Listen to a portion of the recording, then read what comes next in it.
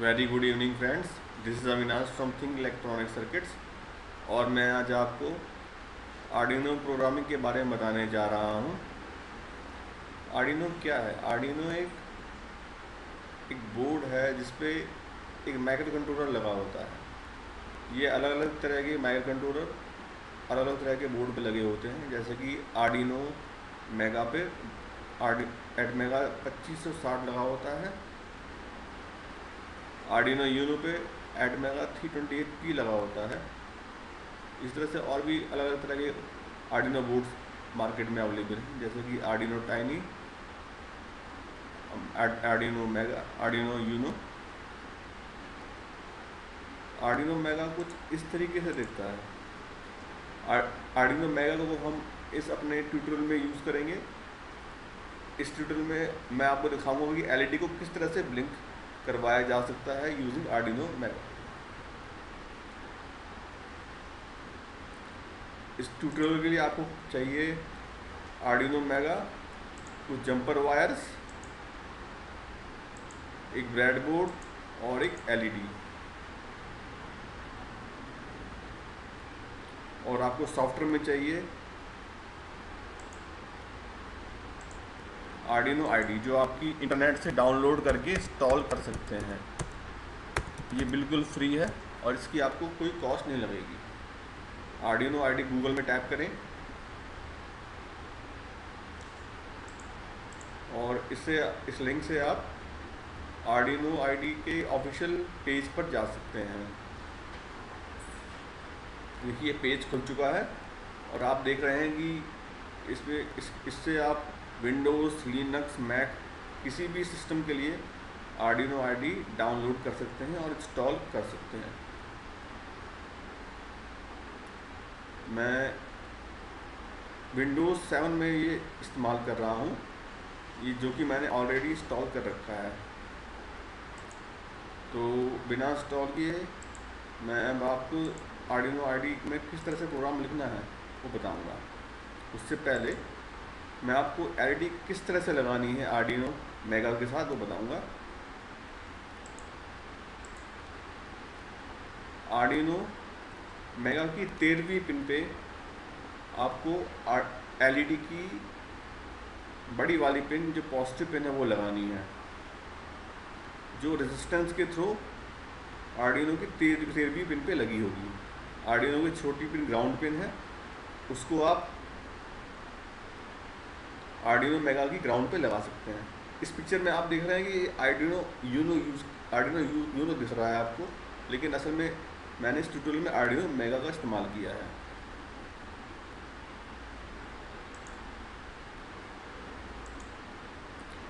अब देखते हैं कि आर्डिनो आईडी में आपको क्या कोड लिखना है, जिससे ये एलईडी आपको ब्लिंक करती हुई दिखाई पड़ेगी।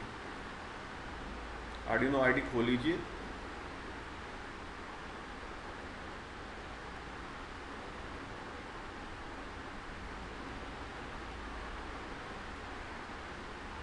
फ़ाइल पे जाइए न्यू ऑप्शन पे क्लिक करिए और आपके सामने एक नई फ़ाइल खुल जाएगी। इसमें आप देख रहे हैं कि वर्ड सेटअप और वर्ड डू नाम से दो फ़ंक्शन पहले से बने हुए हैं। वर्ड सेटअप में आर्डिनो का प्रोग्राम का जो एक्सिक्यूशन एक बार ही होता है और वर्ड डू में ये कंटिन्यूसली रिपीटेडली कंट्रोल होता है। तो अब देखते हैं किस तरह से प्रोग्राम लिखा जाएगा। मैक्रो की हेल्प से तेरहवीं पिन को डिफाइन कर सकते हैं।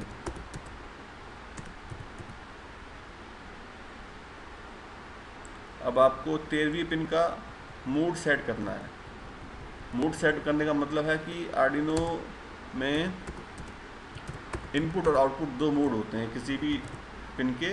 दो मोड होते हैं इनपुट और आउटपुट तो मुझे यहाँ से सिग्नल एल को सेंड करना है तो मैं यहाँ पे इस पिन को, तेरहवीं पिन को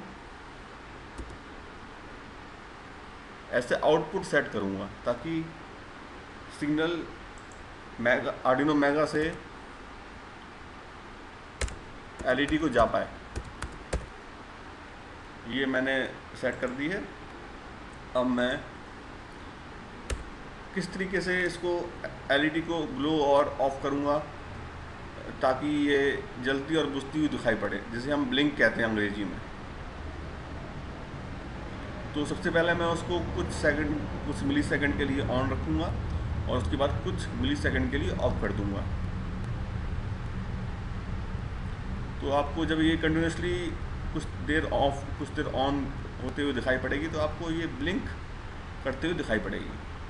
उसके लिए एक फ़ंक्शन यूज़ किया जाता है, जिसे जिसे हम डिजिटल राइट कहते हैं।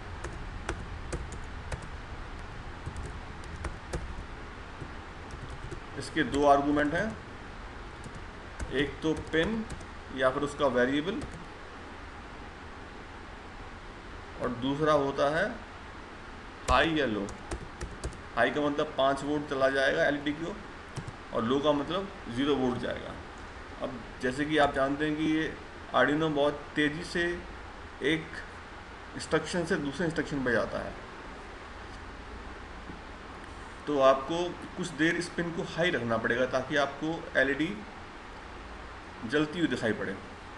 क्योंकि हमारी आँख 100 मिली सेकेंड से कम के डिफरेंस को नहीं देख सकती। तो मैं इसको पाँच पाँच सौ मिली सेकेंड के लिए ऑन रहने देता हूँ। अब उसके बाद मैं इसको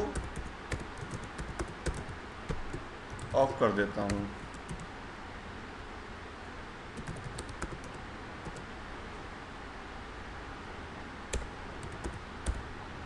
और वो पिन लो रहेगी 500 मिली सेकंड के लिए। ये प्रोग्राम कंप्लीट हो चुका है। अब इसे आप फ़ाइल के नीचे एक टिक मार्क बना हुआ, उसको क्लिक करिए और फ़ाइल का नाम सेव कर दीजिए।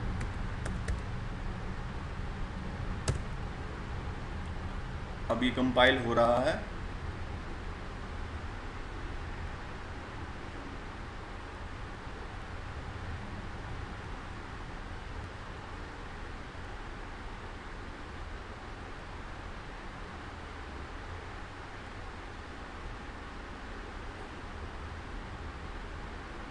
कंपाइल हो चुका है। अब आर्डिनो बोर्ड को यूएसबी केबल से लैपटॉप के केबल पे लगाई लैपटॉप के यूएसबी बोर्ड पे लगाइए और इस बटन पे क्लिक करिए, जो कि दाहिने हाथ पे पॉइंट करता हुआ एक एरो है। इससे आपका प्रोग्राम आर्डिनो बोर्ड में अपलोड हो जाएगा और आपको एलईडी जलती और बुझती हुई दिखाई पड़ेगी।